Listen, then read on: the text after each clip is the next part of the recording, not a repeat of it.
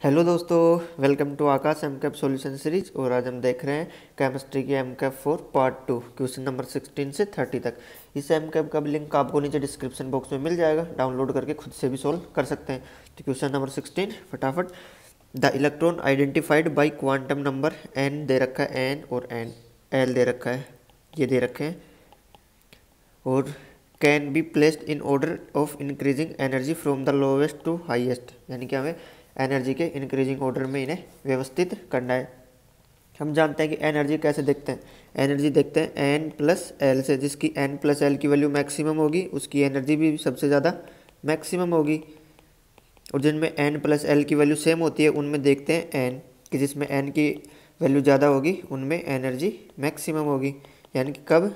सबसे पहले तो ये वाला देखते हैं एन प्लस एल जब एन प्लस एल दो में सेम हो जाता है तो फिर एन की वैल्यू देखते हैं। जिसमें एन की वैल्यू ज़्यादा, वो ई मैक्स से ज़्यादा। तो यहाँ पे देखते हैं। फ़र्स्ट ऑप्शन में क्या हो रहा है?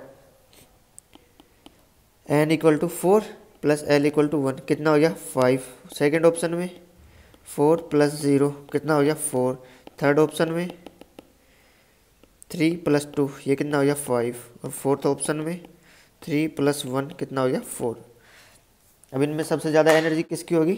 या तो इसकी, या इसकी, क्योंकि जिसमें एन प्लस एल की वैल्यू मैक्सिमम है। अब एन प्लस एल की वैल्यू सेम होने पर क्या देखते हैं सबसे पहले अपन? एन की वैल्यू देखेंगे अब यहाँ पे, कि जिसमें एन की वैल्यू ज़्यादा होगी, उसकी एनर्जी भी ज़्यादा होगी। अब यहाँ पे देख रहे हैं फ़र्स्ट वाले में एन की वैल्यू कितनी होगी? फोर और सेकंड वाले में एन की वैल्यू थर्ड वाले में एन की वैल्यू थ्री है। तो यानी कि एन की वैल्यू फोर ज़्यादा होगी तो इसकी एनर्जी सबसे ज़्यादा होगी। फिर उसके बाद, यानी कि सबसे ज़्यादा एनर्जी किसकी होगी? फ़र्स्ट वाले की। फिर उसके बाद थर्ड वाले की एनर्जी उससे ज़्यादा होगी। फिर अब इन दोनों में फोर फोर यानी कि एन प्लस एल की वैल्यू सेम है। तो यहाँ पे एन की वैल्यू देखेंगे। अब यहाँ पे एन की वैल्यू किसकी ज़्यादा है? फोर यानी कि फिर सेकंड वाले की एन की वैल्यू ज़्यादा है। फिर उसके बाद फोर वाले की। तो है कोई ऐसा option option first first correct हो गया। Question number seventeen which of the following statement regarding psi square is not correct हम जानते हैं कि साइज़ स्क्वायर क्या होता है? इलेक्ट्रॉन प्रोबेबिलिटी होता है साई उसका स्क्वायर साइज़ स्क्वायर होता है, जो कि नेगेटिव नहीं हो सकता कभी भी। इस तरह से होता है ना, कि जैसे ये साई की वैल्यू इस तरह चल रही है साई की वैल्यू पे। तो ये जो साई स्क्वायर होगा, ये यानी कि ये नेगेटिव वाला भी स्क्वायर करेंगे तो नेगेटिव का स्क्वायर भी क्या हो जाता है? पॉजिटिव यानी कि साई नेगेटिव पॉजिटिव हो सकता है, लेकिन साई स्क्वायर क्या होगा? केवल पॉजिटिव होगा। क्योंकि उसमें क्या आ रहा है? साई की वैल्यू क्या आ रही? नेगेटिव है तो उसका स्क्वायर पॉजिटिव होगा। तो यहाँ भी फ़र्स्ट ऑप्शन गलत हो गया।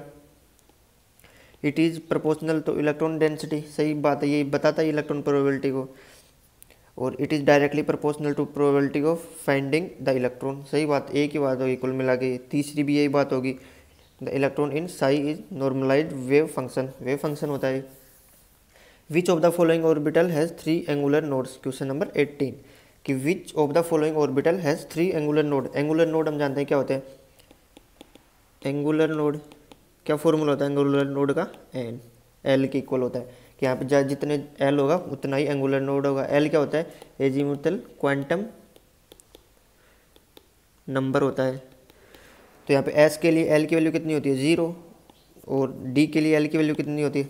डी के लिए टू पी के लिए होती है वन और एफ़ के लिए कितनी होती है? थ्री ऐसे होता है ना? एस पी डी और एफ़ तो एल की वैल्यू होगी ज़ीरो वन टू थ्री ऐसे याद कर सकते हैं। तो यहाँ पे एंगुलर नोड कितने थ्री पूछ रहा है। थ्री कौन से में होगी? एल की वैल्यू थ्री किसके लिए? एफ़ के लिए। तो एट्टीन फोर्थ ऑप्शन करेक्ट हो गया। अब चलते हैं क्वेश्चन नंबर नाइनटीन में। The correct statement on the Aufbau principle is that अभी ओबाउ प्रिंसिपल ये क्या कहता है? ओबाउ प्रिंसिपल ने कहा था कि इलेक्ट्रॉन सबसे पहले उस सेल में या उस सब सेल में भरे जाते हैं, जिसके लिए एन प्लस एल की वैल्यू कम होती है, यानी कि जिसकी एनर्जी सबसे कम होती है, उसमें सबसे पहले इलेक्ट्रॉन को फिल किया जाता है। उसके बाद से ऐसे इंक्रीजिंग ऑर्डर में चलता रहता है। एन प्लस एल की वैल्यू सेम होने पर एन देखते हैं कि जहाँ पे एन की वैल्यू ज़्यादा होगी, फिर वो देखते हैं। लेकिन ये केस हाइड्रोजन के लिए नहीं वैलिड है। हाइड्रोजन में क्या होता है, केवल एन देखते हैं, यानी कि हाइड्रोजन में one s two s two p, three s, three p, ऐसे इलेक्ट्रॉन कॉन्फ़िगरेशन के नंबर चलते रहते हैं। तो हाइड्रोजन में एन प्लस एल नहीं देखते यहाँ पे। हाइड्रोजन में डायरेक्ट एन देखते हैं, यानी कि एन सेम है तो एनर्जी भी सेम होगी एन ज़्यादा है तो एनर्जी भी ज़्यादा होगी। यानी कि यहाँ पे टू एस और टू पी की एनर्जी सेम होगी दोनों की।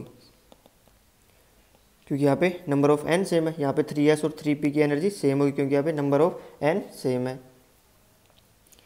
तो ये क्या कर रहा है? N minus one d subshell is always lower in energy the n s, ये केस, देख लेते अपन, एन माइनस वन, एन की इक्वल वैल्यू मान रहे अपन फोर मान रहे हैं यहाँ पे फोर तो फोर माइनस वन कितना हो गया? Three d subshell is always lower in energy n s अब एन क्या मान सकते हैं अपन? फोर फोर ही होगा इसके लिए भी, और एस की वैल्यू ये, कि इसकी एनर्जी फोर एस से हमेशा कम होती है।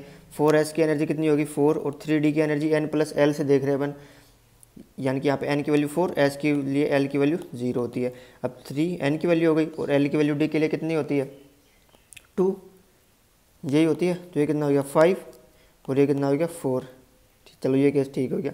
लेकिन अब अपन माने एन इक्वल टू थ्री तो यहाँ पे थ्री तो यानी कि यहाँ पे क्या हो गया? टू डी और यहाँ पे कितना हो गया? थ्री एस अब टू डी के लिए टू प्लस टू कितना हो गया? फोर थ्री के लिए थ्री प्लस ज़ीरो कितना हो गया? थ्री अभी यहाँ पे अपन क्या देख रहे हैं कि जो एन माइनस वन डी की एनर्जी है, वो हमेशा क्या आ रही है? ज़्यादा। किससे? एन एस से ज़्यादा। यही देख रहे हैं। तो ये क्या कर रहा है? लोअर लेकिन यहाँ पे तो क्या आ रही है? हाईएस्ट आ रही है। यानी कि हाई होती है उससे। तो क्या हो गया? इनकरेक्ट हो गया ये स्टेटमेंट तो। ऑप्शन टू देखते हैं। N minus one f subshell always has energy more than n p subshell. ये देख लेते हैं एन माइनस वन अब यहाँ पे मान रहे हैं अपन एन माइनस वन एफ़ की एनर्जी ये कह रहा है कि ऑलवेज ज़्यादा होती है किससे? एन पी से। अब यहाँ पे एन की वैल्यू सबसे पहले फोर के लिए देख लेते हैं, यानी कि यहाँ पे क्या हो गया? थ्री एफ़ और यहाँ पे क्या हो गया? फोर पी अब थ्री एफ़ के लिए एन प्लस एल कितना हो जाएगा? थ्री प्लस थ्री सिक्स हो गया। यहाँ पे फोर प्लस वन फाइव हो गया। चलो अब एक केस और देख लेते हैं एन इक्वल टू थ्री तो यहाँ पे क्या मान रहे हैं? थ्री माइनस वन एफ़, और यहाँ पे कितना हो गया? थ्री सॉरी थ्री पी हो गया यहाँ पे। तो ये क्या गया? टू एफ़, और यहाँ पे थ्री पी। अब टू एफ़ के लिए क्या कर देंगे अपन? टू प्लस थ्री कितना हो गया? फाइव, और थ्री प्लस वन, क्या हो गया? फोर। तो ज़्यादा ही आ रही है हमेशा। तो ये वाला करेक्ट हो गया। अब देखते हैं ये। Five d is lower in energy than four f. Five d कितना होता है? N plus l.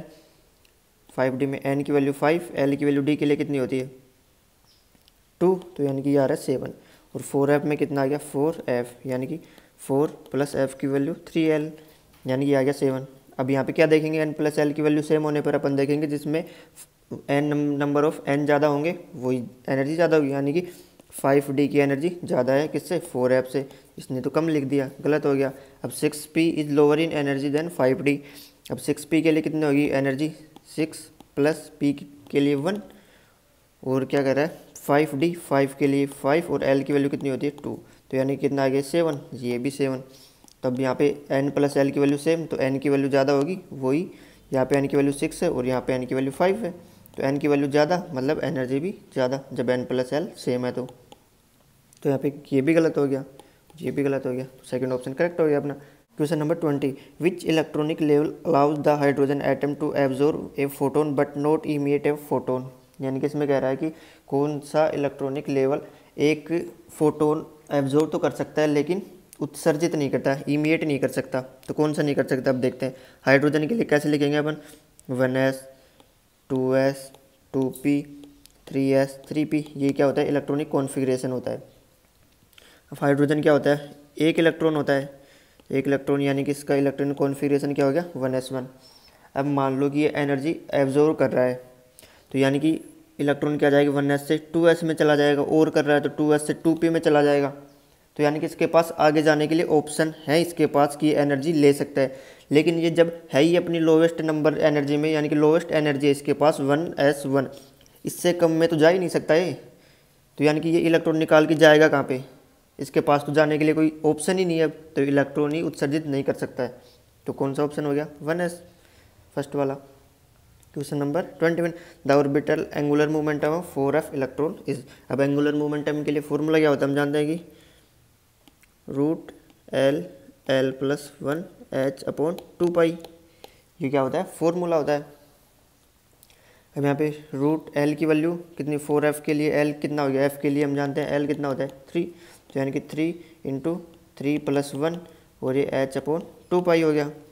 अब ये कितना हो गया? थ्री इंटू फोर रूट में और एच अपॉन टू पाई तो ये कितना हो गया? Twelve root h upon two pi तो है कोई ऐसा ऑप्शन सेकंड करेक्ट हो गया। क्वेश्चन नंबर ट्वेंटी टू ये दे रखा है वेनेडियम इलेक्ट्रॉनिक इसका वो दे रखा है एटॉमिक नंबर दे रखा है क्रोमियम मैग्नीज और एफ़ दे रखे हैं। Which will have the highest magnetic movement अब हाईएस्ट मैग्नेटिक मूवमेंट पूछ रहा है। मैग्नेटिक मूवमेंट क्या होता है? Mu equal to root n n plus two Bohr magneton ये होता है। मैग्नेटिक मूवमेंट का फॉर्मूला, अब यहाँ पे एन क्या होता है? Number of unpaired electron. अब वो अनपेड इलेक्ट्रॉन का पता कैसे चलता है अपने को? इलेक्ट्रॉनिक कॉन्फ़िगरेशन से। अब सबसे पहले अपने को वेनेडियम का इलेक्ट्रॉनिक कॉन्फ़िगरेशन लिखना होगा। अब वेनेडियम का इलेक्ट्रॉनिक कॉन्फ़िगरेशन लिखते हैं, वो कितना हो जाएगा? यानी कि यहाँ पे कितना अपन लिख सकते हैं। इससे पहले कौन सा वो आता है नोबल गैस ऑर्गन और फिर क्या लिख सकते हैं? ऑर्गन के बाद थ्री डी कंप्लीट हो जाता है, यानी कि फोर एस टू में फिल करते हैं और उसके बाद थ्री डी में फिल करते हैं। तो ऑर्गन आ गया अट्ठारह पे, यानी कि अठारह तक तो एटीन यहाँ पे कंप्लीट हो गए। अब दो इसने ले लिए, कितने हो गए? ट्वेंटी अभी आ रहा है थ्री पे, यानी कि डी में कितने बज गए? थ्री अब यहाँ पे नंबर ऑफ़ अनपेड इलेक्ट्रॉन कितने होंगे? फोर एस टू में, ये फोर एस टू और ये थ्री डी थ्री देख रहे हैं अपन। तो फोर एस टू में दो इलेक्ट्रॉन भर रखे हैं और थ्री डी थ्री में तीन इलेक्ट्रॉन यहाँ, यानी कि यहाँ पे एन इक्वल टू कितना आ गया? थ्री अब देख रहे हैं क्रोमियम में जो ट्वेंटी फोर नंबर पे आ रहा है। क्रोमियम में कितना हो जाएगा? ऑर्गन और ये कितना? फोर एस अब यहाँ पे देख रहे हैं, अपन करेंगे टू और थ्री डी कितना कर देंगे? फोर लेकिन हम जानते हैं कि हाफ़ फ़ील्ड और फुल फ़ील्ड के लिए इलेक्ट्रॉनिक कॉन्फ़िगरेशन स्टेबल होता है, यानी कि उसकी एनर्जी ज़्यादा होती है और हर कोई अपनी एनर्जी ज़्यादा करना चाहता है, यानी कि यहाँ से इसका नॉर्मल इलेक्ट्रॉनिक कॉन्फ़िगरेशन अपने हिसाब से ये होना चाहिए था। लेकिन ये सॉरी चार ही है, यानी कि यहाँ पे क्या होना चाहिए था, ये इलेक्ट्रॉनिक कॉन्फ़िगरेशन होना चाहिए था। लेकिन ये अपनी एनर्जी को और स्टेबल यानी कि बढ़ाने के लिए क्या कर रहा है, एक इलेक्ट्रॉन यहाँ से यहाँ पे आ जाता है। एक्साइटेड होके यहाँ आ जाता है। तो यानी कि ये कितना हो गया? अब इसका इलेक्ट्रॉनिक कॉन्फ़िगरेशन कैसे लिखेंगे अपन? अब यहाँ पे नंबर ऑफ़ एन कितने हो गए? अनपेड इलेक्ट्रॉन फाइव तो ये और एक ये कितने हो गए? सिक्स अब इसी तरह मैग्नीज का देखेंगे। मैग्नीज में कितना होता है? ट्वेंटी फाइव तो उसका कैसे लिखते हैं? ये आर्गन और फोर एस टू और थ्री डी फाइव इसमें तो पहले ही तो एस को करने की ज़रूरत ही नहीं होगी वो। तो एस और ये पी के लिए तो एस में कितने दो। पी में पाँच, यानी कि यहाँ पे एन इक्वल टू कितना आ गया? फाइव और फिर बच गया क्या? मैग्नीज के बाद में क्या दे रखा है? F E iron twenty six पे। इसका कितना हो जाएगा? और और फोर एस टू और थ्री डी सिक्स अब फोर एस टू यानी कि टू इलेक्ट्रॉन एस में। अब सिक्स इलेक्ट्रॉन बनने के इसमें डी में। तो इसमें कितने अनपेड इलेक्ट्रॉन हो गए? एक, दो, तीन, चार तो एन इक्वल टू फोर यानी कि जिसमें ज़्यादा अनपेड इलेक्ट्रॉन, उसमें सबसे ज़्यादा म्यू होगा उसका। यानी कि म्यू डायरेक्टली प्रोपोर्शनल एन क्या आ रहा है ना? अपन देख रहे हैं यहाँ से। यानी कि एन ज़्यादा होगा, उसमें म्यू ज़्यादा होगा तो एन किसमें ज़्यादा आ रहा है? इसमें किसमें क्रोमियम में। तो यहाँ पे क्या हो गया? अपना करेक्ट ऑप्शन क्रोमियम अब देख रहे हैं question number twenty three four three d z square और orbital the value of l and m respectively are की अपन आशा कर सकते हैं कितनी होगी। तो यहाँ पे थ्री डी जेड स्क्वायर दे रखा है, यानी कि यहाँ पे एन की वैल्यू कितनी होगी? थ्री और जितने भी डी ऑर्बिटल्स होते हैं, उनके लिए एल की वैल्यू सेम होगी। तो यानी कि कितने होते हैं? फाइव ऑर्बिटल सब सेल होते हैं डी में। तो एक ऑर्बिटल में तो कितने हो गए यहाँ पे?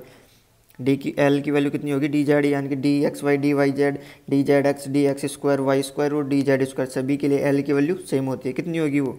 डी के लिए होती है वो। डी के लिए कितनी होती है? टू तो यानी कि एल की वैल्यू आएगी टू और एम की वैल्यू अपन जान सकते हैं कितनी होगी। यानी कि माइनस एल से प्लस एल तक होती है। यानी कि माइनस टू से प्लस टू तक हो सकती है। ये फाइव आ गया बीच में तो डी जेड स्क्वायर के लिए होती है वो वैल्यू ज़ीरो तो कौन सा ऑप्शन करेक्ट हो गया इसमें? फ़र्स्ट वाला करेक्ट हो गया। Question number twenty four in presence of external magnetic field f subshell is कि एक्सटर्नल मैग्नेटिक फ़ील्ड में एफ़ सबसेल कैसा बिहेवियर करेगा? वो देखते हैं कि जैसे सबसे पहले होते हैं कि नॉर्मली क्या होता है? ये एक एफ़ ऑर्बिटल है, इसमें क्या होंगे? सेवन इसके सबसेल होंगे। ये, अब जब कोई एक्सटर्नल मैग्नेटिक फ़ील्ड नहीं है तो उस केस में क्या होते हैं? ये ऑर्बिटल होते हैं डी जनरेट होते हैं। डी जनरेट मतलब इन सब की एनर्जी सेम होती है, यानी कि सेम लेवल पे होते हैं। इन सब की एनर्जी क्या होगी? सेम लेकिन जैसे ही एक्सटर्नल मैग्नेटिक फ़ील्ड दे रहे हैं तो इनकी एनर्जी क्या हो जाती है? सेम नहीं रहती। है किसी की एनर्जी बढ़ जाती है, किसी की कम हो जाती है। तो वो अपने को पता नहीं किसकी कम हो रही है, किसकी। लेकिन क्या हो रहे हैं ये फिर नॉन डी जनरेट हो रहे हैं। यानी कि अपने को ये तो पता चल रहा है कि इनकी एनर्जी सेम नहीं रहेगी। तो उसको क्या बोलते हैं अपन? नॉन डी जनरेट तो है कोई ऐसा ऑप्शन फोर करेक्ट हो गया। अब question number twenty five psi four two zero की किसको रिप्रेजेंट कर रहे हैं? ये पूछ रहा है यहाँ पे। तो यानी कैसे याद रखा करो कि एन, एल, एम। फ़र्स्ट वाला दिखाता है, एन को, यहाँ पे एन इक्वल टू हो गया फोर एन क्या होता है यहाँ पे? मैग्नेटिक ये एन होता है यहाँ पे प्रिंसिपल क्वांटिंग क्वांटम नंबर और एल क्या होता है? एजीमुथल क्वांटम नंबर एल क्या हो गया? टू और एम क्या होता है? मैग्नेटिक क्वांटम नंबर ज़ीरो हो गया यहाँ पे। तो एन की वैल्यू फोर किसमें है? यानी कि इन दोनों में एल एन की वैल्यू क्या है? फोर अब एल की वैल्यू टू दे रखी है यहाँ पे। अब पी के लिए एल की वैल्यू कितनी होती है? वन और डी के लिए होती है टू तो ये वाला ऑप्शन करेक्ट हो गया अपने पास। अब इसमें एम की वैल्यू ज़ीरो जेड स्क्वायर के लिए एम कितना होता है ज़ीरो अपन ने इसमें ट्वेंटी थ्री में देखा था। अभी अच्छा क्वेश्चन कब हो जाता है? यानी कि यहाँ पे लिख देता फोर डी जेड स्क्वायर के साथ में four d x square y square भी लिख देता। अब यहाँ पे एन की वैल्यू फोर है, यहाँ पे भी एन की वैल्यू फोर है। अब एल की वैल्यू भी डी के लिए, सबके लिए सेम होती है, यहाँ पे डी की वैल्यू भी टू यहाँ पे भी टू अब एम की वैल्यू देखनी होती है यहाँ पे। अब इसके लिए एम की वैल्यू ज़ीरो होती है, इसके लिए नहीं होती है। यानी कि तब जाके ये दो ऑप्शन होते तो एक ये चूज़ करना होता है अपने को, यानी कि एम की वैल्यू भी देखनी होती है इसमें।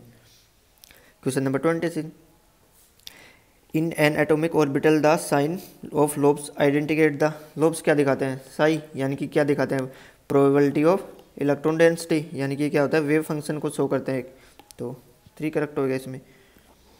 Question number twenty seven the orbital diagram in which Aufbau principle is violated Aufbau principle क्या बताता है? यानी कि सबसे पहले इलेक्ट्रॉन लो एनर्जी में पॉसिबल है, उसमें लो एनर्जी उसमें फिल करते हैं, उसके बाद हाई एनर्जी में जाते हैं। तो यानी कि लो एनर्जी को देखने के लिए उसने तरीका क्या बताया था? सबसे पहले एन प्लस एल देखेंगे, कि जिसका एन प्लस एल ज़्यादा होगा, उसकी एनर्जी ज़्यादा होगी। और लेकिन एन प्लस एल कम होगा, उसकी एनर्जी भी कम होगी। अब एन प्लस एल की वैल्यू सेम आने पर अपन एन देखते हैं, जिसके लिए एन ज़्यादा होगा, उसकी एनर्जी भी ज़्यादा होगी। तो पहले एन प्लस एल वाले में इलेक्ट्रॉन कम वाले में इलेक्ट्रॉन फिल करते हैं, उसके बाद हाई वाले में इलेक्ट्रॉन फिल करते हैं। अब यहाँ पे देख रहे हैं, यानी कि टू एस टू एस के लिए एन प्लस एल की वैल्यू कितनी होती है? टू एस के लिए एन प्लस एल की वैल्यू हो गई अपने पास टू और एस के लिए ज़ीरो यानी कि टू और टू पी के लिए टू और पी के लिए कितनी होगी? वन, यानी कि थ्री यानी कि ओबाउ सिर्फ़ ये कह रहा है कि इलेक्ट्रॉन पहले इसमें भरे जाएँगे, फिर इसमें फिल होंगे। ये ठीक हो गया हुआ के अनुसार। लेकिन ये एक गलत रूल फॉलो कर रहा है यहाँ पे आके। यानी कि पहले इलेक्ट्रॉन क्या होते हैं? अनपेड यानी कि वन डायरेक्शन में भरे जाते हैं, उसके बाद उन्हें पेयर किया जाता है। तो यानी कि, लेकिन अपन ये नहीं देख सकते यहाँ पे। यहाँ पे तो केवल ओबाऊ का ही देखना है। ये तो दूसरे के रूल का पालन नहीं हो रहा। तो ये तो ओबाऊ के अनुसार ये ठीक हो गया। अब सेकेंड वाले में क्या है? टू एस दे रखा है तो यानी कि एन प्लस एल कितना हो गया इनके पास? टू एस के लिए टू, और दूसरा टू पी, यानी कि यहाँ पे हो गया थ्री। यानी कि पहले टू एस में इलेक्ट्रॉन फिल होंगे, उसके बाद टू पी में इलेक्ट्रॉन फिल होंगे। ये ठीक कर रहा है यानी कि टू एस में, फिर उसके बाद टू पी में इलेक्ट्रॉन फिल किए। लेकिन इसने यहाँ पे गलती कर दी। यहाँ पे डबल इलेक्ट्रॉन करने से पहले इसे, पहले टू एस में फिल करना था। वो बाब यही तो कहता है कि पहले लोअर एनर्जी में इलेक्ट्रॉन फिल होंगे फुल तो यानी कि इससे पहले ये वाला इलेक्ट्रॉन यहाँ फिल करना होता तो ये करेक्ट हो जाता उबाव के अनुसार। लेकिन अब क्या हो गया? इनकरेक्ट हो गया। सेकेंड वाला। Question number twenty eight the energy of an electron is an atomic orbital of a multi electron atom depends on energy किस पे डिपेंड करती है? एन एल प्लस एल पे डिपेंड करती है और एन प्लस एल सेम होने पे एन पे डिपेंड करती है, लेकिन है तो यही ना। क्या है? प्रिंसिपल क्वांटम नंबर और ये क्या है? एजीमुतल क्वांटम नंबर इन दोनों पे डिपेंड कर रही है एनर्जी तो क्या हो गया इसमें? गलत हो गया ओनली लिख दिया। ये ठीक हो गया, द प्रिंसिपल एज मैग्नेटिक पे डिपेंड ही नहीं कर रही। स्पिन क्वांटम नंबर, इस पर भी नहीं, यानी कि प्रिंसिपल एजीमुतल मैग्नेटिक और स्पिन केवल ये तो दो पे करती है बस तो करेक्ट हो गया। D orbital with maximum electron density along two axis will be. अब यहाँ पे दो डी ऑर्बिटल्स देखते हैं कितने होते हैं। डी ऑर्बिटल्स होते हैं फाइव। अब फाइव में ये भी टू टाइप के होते हैं, एक तो ईजी और एक टी टू जी अब ईजी वाले में कौन से होते हैं? और टी टू जी वाले में होते हैं तीन। अब इसमें आते हैं, एक तो आता है डी जेड स्क्वायर और एक d x square y square इसमें कौन सा आ गया? D x y d y z और डी जेड एक्स इसमें आ गया। ये आ गया इसमें। अब इनमें क्या होता है कि जो इलेक्ट्रॉन डेंसिटी होती है, वो होती है पॉइंट एक्सिस, यानी कि एक्सिस के ऊपर होती है। लेकिन इनमें क्या होती है? बिटवीन द एक्सिस, इनमें कुछ ऐसे होती है। बिटवीन द एक्सिस और इनमें होती है पॉइंट एक्सिस। अभी क्या पूछ रहा है? D orbital with maximum electron density along two axis यानी कि दोनों एक्सिस के अलोंग डेंसिटी किसमें होगी? हम जानते हैं तो डी जेड स्क्वायर और d x square y square में होनी चाहिए। लेकिन डी जेड स्क्वायर में क्या होगा? केवल एक के अलोंग ही होगी डेंसिटी और d x square y square में एक्स के भी और वाई के भी दोनों के अलोंग होगी। तो यानी कि ज़्यादा किसमें होगी? D x square y square में। अब देख रहे हैं question number thirty the correct electronic configuration of C U plus two ion अब देखते हैं। C U plus two yne का करेक्ट कॉन्फिग्रेशन पूछ रहा है। तो सी यू कितने नंबर पे आता है? ट्वेंटी नाइन पे आता है। और इसका इलेक्ट्रॉनिक कॉन्फ़िगरेशन कितना होता है? नॉर्मल इससे पहले कि noble gas four s two और थ्री डी नाइन ये होना चाहिए था। लेकिन एग्जैक्ट होता क्या है? फोर एस वन और थ्री डी ये क्रोमियम की तरह हाफ़ फ़ील्ड और फुल फ़ील्ड में स्टेबल ज़्यादा होता है। तो यानी कि थ्री डी को क्या कर रहा है? फुल फ़ील्ड कर रहा है। ऐसा हो गया। यानी कि फोर एस वन और थ्री डी में फुल है। इस तरह से हो गया। अब प्लस टू जा रहे हैं। प्लस टू जाएँगे तो क्या हो गया? प्लस टू जाएँगे यहाँ से यानी कि ए आर और प्लस टू चले गए यहाँ से। चैन के दो इलेक्ट्रॉन कम कर दिए? अब एक इलेक्ट्रॉन तो ये वाला देगा। सबसे बाहर होता है वही देता है इलेक्ट्रॉन तो फोर एस वाला एक इलेक्ट्रॉन दे दिया इसने। तो फोर एस में तो कितने हो गए? ज़ीरो क्योंकि एक इलेक्ट्रॉन दे सकता है। और थ्री डी कितने हो गए? नाइन एक इलेक्ट्रॉन थ्री डी से चला जाएगा। तो ऐसा कौन सा ऑप्शन हो गया अपने पास? Three D nine four S zero तो ये हम कैप के थर्टी क्वेश्चन तक ख़त्म होते हैं यहाँ पे।